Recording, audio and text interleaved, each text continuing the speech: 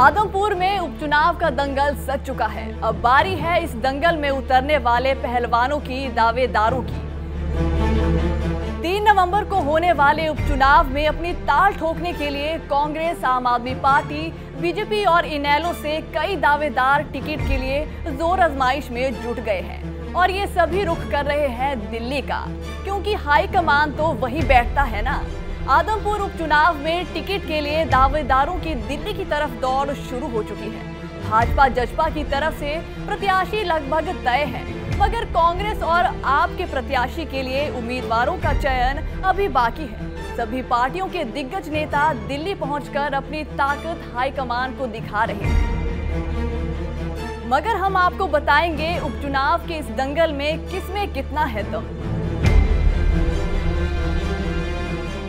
सबसे पहले बात करते हैं विपक्षी दल कांग्रेस के दावेदारों की। प्रदीप बेनीवाल, आइए सबसे पहले जानते हैं क्या है इनका मज़बूत पक्ष। प्रदीप बेनीवाल की इमेज स्थानीय नेता के तौर पर काफ़ी बेहतर है। ये बिश्नोई समाज से ताल्लुक रखते हैं, जो कुलदीप बिश्नोई को चुनौती देने में काफ़ी है। और साथ ही साथ ये बिश्नोई सभा के अध्यक्ष भी है। प्रदीप बेनीवाल का मज़बूत पक्ष तो हमने आपको बता दिया। अब इनका जरा कमज़ोर पक्ष भी जान लीजिए।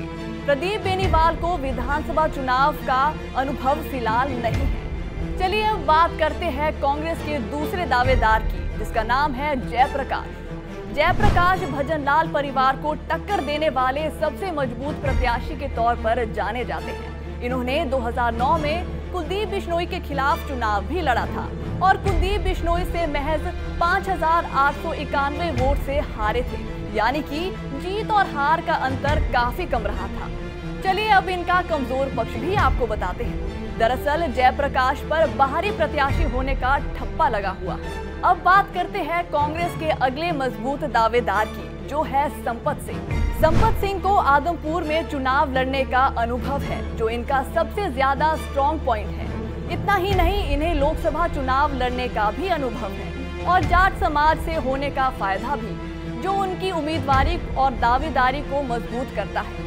ये तो हो गई मज़बूत पक्ष की बात। अब आपको संपत सिंह के कमज़ोर पक्ष की भी बात बताते हैं। संपत सिंह पर बाहरी प्रत्याशी होने का ठप्पा लगा हुआ है और इनकी छवि दल नेता के तौर पर है। ये तो हो गई कांग्रेस के दावेदारों की बात। अब जरा आम आदमी पार्टी के दावेदारों पर भी एक नज़र डालते हैं और जानते हैं क्या है इनका मज़बूत फैक्टर और क्या है इनकी कमज़ोरी। सबसे पहला नाम सत्येंद्र सिंह। सत्येंद्र सिंह की सबसे बड़ी मजबूती ये है कि वे आदमपुर से ताल्लुक रखते हैं और स्थानीय नेता होने का भी इन्हें फ़ायदा मिल सकता है। बता दें कि सत्येंद्र सिंह पहले भी आदमपुर से चुनाव लड़ चुके हैं और पाँच साल से क्षेत्र में लगातार सक्रिय है। अब जानते हैं इनका कमज़ोर पक्ष। बार बार पार्टी बदलना इनकी छवि को कमज़ोर बनाता है। आपका अगला बड़ा दावेदार भूपेंद्र सिंह बेनीवाल हो सकते हैं। भूपेंद्र सिंह भी आदमपुर से स्थानीय नेता है और इसका फ़ायदा इन्हें उपचुनाव में मिल सकता है। और सबसे महत्वपूर्ण बात तो ये है कि भूपेंद्र सिंह का लोगों से सीधा संवाद है। और ये बिश्नोई समाज से ताल्लुक रखते हैं। लेकिन इसका कमज़ोर पक्ष ये है कि इनके पास अभी तक चुनाव लड़ने का अनुभव नहीं है। आप और कांग्रेस के संभावित दावेदारों के बाद अब बात उस नाम की करेंगे, जिसकी जीत की संभावनाएँ सबसे प्रबल बताई जा रही है। लेकिन अभी तक फ़िलहाल ये फाइनल नहीं हुआ है कि ये बीजेपी की तरफ़ से उम्मीदवार होंगे या फिर नहीं। जी हाँ हम बात कर रहे हैं बीजेपी नेता कुलदीप बिश्नोई के बेटे भव्य बिश्नोई की। अगर भव्य बिश्नोई को बीजेपी से टिकट मिलती है तो इनकी सबसे बड़ी मजबूती ये होगी कि इनके युवा प्रत्याशी के तौर पर छवि काफ़ी बढ़िया है और ये भजन लाल के परिवार के सदस्य हैं और सत्ता पक्ष भी इनके साथ है। लेकिन बात अगर भव्य बिश्नोई की कमज़ोरी की करे तो जनता के साथ इनका संपर्क इतना नहीं है। वैसे राजनेता का जनता के साथ सीधा संपर्क होना ही उसकी असली पहचान होता है। मगर कुलदीप बिश्नोई के नाम पर भव्य बिश्नोई को बीजेपी से टिकट मिलने की संभावनाएँ काफ़ी ज़्यादा है।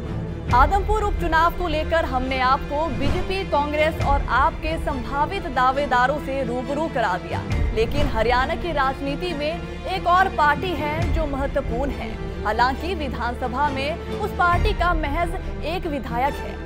जी हाँ हम बात कर रहे हैं इनेलो की। इनेलो भी आदमपुर उपचुनाव के दंगल में उतर रही है, मगर अभी तक टिकट के दावेदारों को लेकर असमंजस की स्थिति बनी हुई है। इस खबर को लेकर आपकी क्या राय है? आपको क्या लगता है? बीजेपी, कांग्रेस, आम आदमी पार्टी और इनेलो से किसे टिकट मिलेगा? कमेंट बॉक्स में ज़रूर बताएँ। हमसे जुड़े रहने के लिए हमारे YouTube चैनल को सब्सक्राइब करें और नई वीडियो की नोटिफिकेशन के लिए बेल आइकॉन को दबाएँ। अगर आप ये वीडियो Facebook पर देख रहे हैं तो लाइक ज़रूर करें और ज़्यादा से ज़्यादा शेयर करें धन्यवाद